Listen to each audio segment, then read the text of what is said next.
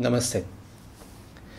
Osho's and tarot के इस episode में हम बात कर रहे हैं द कार्ड ऑफ़ बर्डन की, और कार्ड ऑफ़ बर्डन को हम कंपेयर कर रहे हैं सिक्स ऑफ़ सॉर्ट्स के साथ, जो कि राइडर वेट का कार्ड है। सिक्स ऑफ़ सॉर्ट्स को थोड़ा समझेंगे। सिक्स ऑफ़ सॉर्ट्स में हम देखते हैं कि एक माझी, एक औरत और एक बच्चे को नदी के उस तरफ़ लेके जा रहा है। और उसकी बोट पे हम देख सकते हैं कि छह तलवारें जो हैं नीचे की तरफ़ खुपी हुई हैं। तो जब भी हम शॉर्ट्स को देखते हैं और शॉर्ट्स अगर हवा में है तो उसका ये अर्थ है कि कि अभी जो माइंड के साथ जो है थॉट्स के साथ हम इंगेज हैं, कि उसका जो एनर्जी जो है शॉर्ट्स की वो एक्टिव है। इस केस में हम देखते हैं कि जो शॉर्ट्स हैं, वो ज़मीन पे खुपी हुई हैं, जिसका ये मतलब है कि आपने अपने मन के साथ थोड़ा डिस्टेंस क्रिएट कर लिया है कि आपने अपने आप को एक थोड़ा सरेंडर पोजीशन में ले आए हैं। कार्ड का अगर एसेंस देखें तो हम ये देख सकते हैं एक ऐसी सिचुएशन जहाँ पे आप अपने आप को जो है एक बेटर सिचुएशन में लेके जाना चाहते हैं। अभी की जो सिचुएशन है वो बहुत ट्रबल्ड जैसे दिखती है। नदी के अगर इस इस तरफ़ देखें तो पानी जो है बहुत सारी लहरें ले रहा है। और पानी और अगर बोट के जो है अगर हम उस तरफ़ देखें तो, तो हम देख सकते हैं कि पानी जो है शांत है। जिसका अर्थ ये है कि अभी की जो सिचुएशन है, वो ट्रबल्ड है। ये जो माजी है, वो आपको जो है डिफ़िकल्ट सिचुएशन से निकाल के एक एक कामर सिचुएशन में लेके जा रहा है। एक ऐसी सिचुएशन में जहाँ पे आप अपने आप को हील कर पाएँगे। जिस तरह से ये औरत और बच्चा जो है, अपने आप को छुपा रखा है कि जैसे कि वो अभी अपने आप को रिवील नहीं करना चाहते, जैसे कि वो अभी अपने आप को छुपाना चाहते हैं, जैसे कि अभी वो छुप जाना चाहते हैं। तो कार्ड का अगर हम एसेंस देखेंगे तो कार्ड का एसेंस आएगा कि अभी अगर हो सके, इस सिचुएशन में अगर हो सके तो अगर आपको कोई हेल्प मिलती है, अगर कोई माझी मिलता है, अगर कोई टीचर मिलता है, अगर कोई फ्रेंड मिलता है तो आप उसकी हेल्प ले सकते हैं। और उसकी हेल्प लेके जो है, आप जो है, अपने लिए सिचुएशन बेटर कर सकते हैं, अपने आप को हील कर सकते हैं। ये टाइम ऐसा नहीं है कि आप जो है किसी आर्गूमेंट में या किसी और चीज़ में इन्वॉल्व हों। ये टाइम ऐसा है कि जब आप जो है अपने भीतर जो है जितना रिलैक्स होंगे, जितना हील होंगे, उतने अच्छे से वो सिचुएशन को डील कर पाएँगे। तो सिक्स ऑफ़ शॉर्ट्स हमें मैसेज देता है कि सबसे पहले आप अपने आप को हील कर लीजिए, अपने आप को ठीक कर लीजिए, अपने आप को हील करने के बाद फिर जो है आप रेडी हो जाएँगे उस सिचुएशन को फेस करने के लिए जो कि अभी आप फेस नहीं कर पा रहे हैं। इसलिए इसलिए बहुत लोग इसको जो है कार्ड ऑफ़ एस्केपिज्म भी कहते हैं। लेकिन मेरे देखे जो है ये एस्केपिज्म जो है पॉजिटिव है, क्योंकि हर सिचुएशन जो है ज़रूरी नहीं कि आप फेस करें। जब तक कि आप रेडी ना फील हो उसके लिए, तब तक जो है आप जो है अपना टाइम ले सकते हैं। फेस करना है। But at the same time face तब करना है जब आप अपने आप को रेडी कर लें। तो ये कार्ड आपको एक मौका दे रहा है अपनी एनर्जीज को रेडी करने का।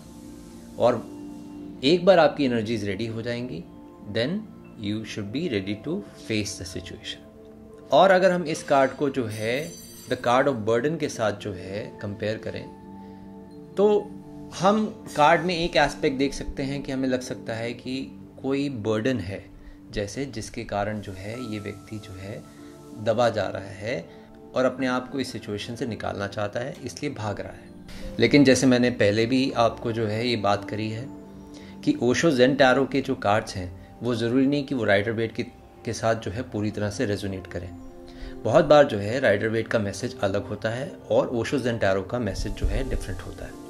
अगर हम इस बर्डन कार्ड को जो है अगर कंपेयर कर सकते हैं राइडर वेट की तो मेरे देखे जो अप्रोप्रिएट होगा, वो होगा द टेन ऑफ़ वॉन्ट्स जिसमें एक बर्डन शो किया गया है जिसमें दिखाया गया है कि आपके पास इतनी ऊर्जा है कि कि आप उसके बर्डन में दबे जा रहे हैं, कि आप जो है क्लियरली देख नहीं पा रहे हैं, कि आपकी आँखें जो हैं पूरी तरह से कवर हो गई हैं, अंधी हो गई हैं, जिसके कारण जो है आप जो है चल नहीं पा रहे तो ये एक छोटी सी एक्सप्लेनेशन थी सिक्स ऑफ़ सॉर्ट्स की।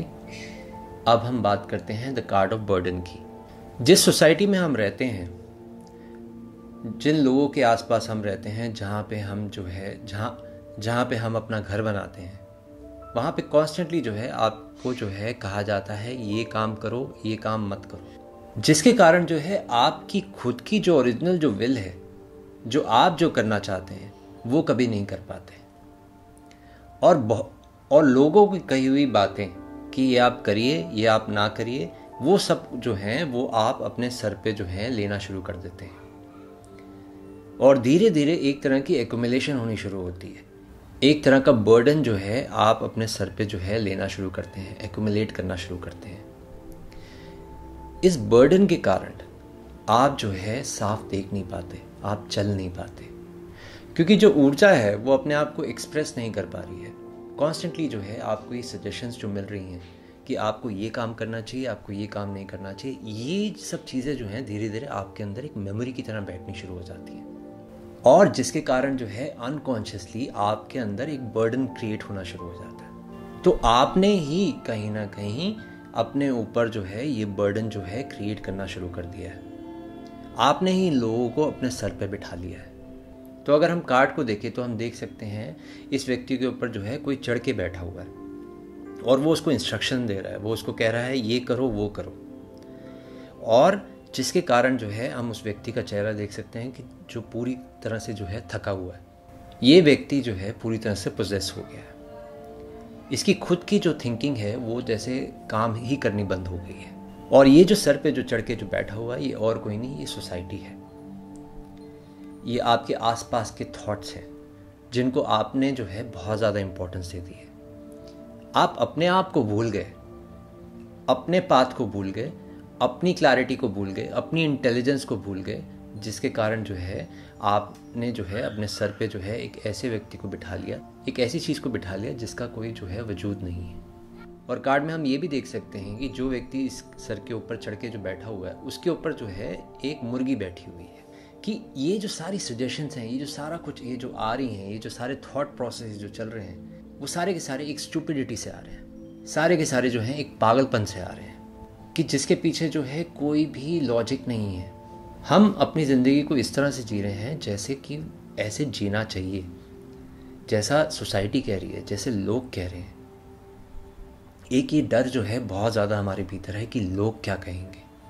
तो ये जो क्राइटेरियाज बने हुए हैं, ये जो इस तरह से, ये जो सजेशंस बनी हुई हैं, इन सजेशंस को फॉलो करना जो है आपको अपने स्वभाव से दूर लेके चला जाता है। कि आप अपनी स्वाभाविकता को नहीं जी पाते हैं अपने नेचर को नहीं जी पाते हैं। तो बहुत इंपॉर्टेंट है इस कार्ड का मैसेज कि, कि आपके सर के ऊपर जो चढ़ के जो वो जो जोकर बैठा हुआ है उसको जो है उतार के फेंक दे और उस बर्डन से जो है मुक्त हो जाए। अगर ये ज़िंदगी जो है आपको एक स्ट्रगल की तरह दिखती है अगर आपको ये लाइफ जो है एक डिफ़िकल्टी की तरह दिखती है तो इसका यही मतलब है कि आपने जो है अपने आप को बहुत ज़्यादा बर्डन कर रखा है। और बर्डन बहुत सारे जो है अननेसरी थॉट्स के साथ। अननेसरी आइडियाज़ के साथ। इस सब कचरे को उठा के जो है फेंक देना है। इस कचरे से मुक्त हो जाना है, ताकि आप जो है स्वाभाविक हो सकें, ताकि आप जो है चैन की सांस ले सकें। ये बहुत इंपॉर्टेंट है कि इस चीज़ को रियलाइज़ करना कि आपका जो तरीका है लाइफ का, वो आपका खुद का तरीका होगा। वो किसी के साथ मैच नहीं कर सकता, वो किसी के सजेशन के ऊपर नहीं चल सकता। वो कुछ ऐसा ही है कि अगर आपको जो है कोई गाड़ी चलाने के लिए बोलता है और आपको बोले कि इतने समय बाद जो है ब्रेक लगानी है, इतने समय बाद जो है आपको एक्सेलरेटर देना है, इतने समय बाद जो है आपको हैंड ब्रेक यूज़ करनी है तो गाड़ी तो चल ही नहीं पाएगी। क्योंकि गाड़ी जब चलेगी तो उसके प्रति जो है आपको हर वक्त कॉन्शियस रहना पड़ेगा कि आपको जो है सिचुएशन के अकॉर्डिंग जो है आपको जो है गाड़ी चलानी पड़ेगी। आप प्री प्लान वे से अपनी गाड़ी नहीं चला सकते। तो लाइफ भी कुछ ऐसी ही है कि उसको प्री प्लान वे से आप नहीं चला सकते। गुरु ओशो का इस कार्ड के लिए मैसेज ये है कि जो झूठ आपको जो है, आपके जीवन में दे दिया जाता है, एक सच्चा व्यक्ति वही है, एक धार्मिक व्यक्ति वही है जो इन झूठों को उतार के जो है फेंक दे जो अपनी सच्चाई पे वापस आ जाए, जिसको हम कहते हैं returning to to oneself returning to truth तो एक बार आप अपने तरफ़ जो है, जब वापस आते हैं तो ये झूठ जो है, आप सदा के लिए जो है, इनको फेंक देते हैं। और झूठ झूठ ही है। वो कभी सच नहीं हो सकता। जितना मर्ज़ी कोशिश कर लिया जाए, लेकिन झूठ झूठ ही रहता है। तो जो ऐसी चीज़ें, जिसके जिसके बारे में आपको आइडिया है कि वो आपके जीवन में सुख लेकर आएँगी, और अगर वो झूठ हैं, जितना मर्ज़ी ट्राई कर लीजिए, उससे सुख नहीं आने वाला। स्वभाव के साथ जुड़ा हुआ व्यक्ति, धर्म के साथ जुड़ा हुआ व्यक्ति जो है, इस चीज़ को देखेगा, समझेगा, और इससे मुक्त होगा। इससे जो भी अनएसेंशियल है, जो भी जिसको हम झूठ कह रहे हैं, उससे जब तक आप मुक्त नहीं हो जाते, आपके भीतर के स्वभाव का जो है, जो एसेंशियल जो एलिमेंट है, वो रिवील नहीं होता। तो धर्म की सारी खोज यही है कि आप जो है एसेंशियल के साथ जुड़ें और नॉन एसेंशियल को जो है अपनी लाइफ से दूर कर दें। उस दूर करने में ही जो है आपके जीवन का फूल जो है खिलता है। एक छोटी सी कहानी है एक सन्यासी की, जो कि हिमालय की यात्रा करता था। तो एक पहाड़ की चोटी पे वो चढ़ रहा था। रास्ता बहुत मुश्किल था और उसने अपने जो है कंधे पे बहुत सारा बोझ भी लिया हुआ था। तो जब वो ऊपर की तरफ़ जो है चढ़ाई कर रहा था, उसने देखा एक छोटी सी लड़की अपने भाई को लेके जो है अपने कंधे पे लेके वो भी ऊपर चढ़ रही है। उस सन्यासी को एक विचार आया। उसने देखा कि ये जो बोझ जो मैं लेके चल रहा हूँ, मेरे लिए कितना मुश्किल है तो इस छोटी सी बच्ची के लिए कितना मुश्किल होगा जो अपने भाई को लेके जा रही है। तो थोड़ी सांत्वना देने के लिए उस सन्यासी ने उस लड़की को बोला कि बेटी, तू बहुत शक्तिशाली है। अपने ऊपर जो है इतना बोझ लेके तू चल सकती है। मुझे देख के खुशी हुई, तू छोटी सी होके जो है इतना वेट जो है उठा सकती है। उस लड़की ने उस सन्यासी को मुड़ के देखा और बोली कि बाबा जी वेट तो आपने उठा रखा है। ये तो मेरा छोटा भाई है।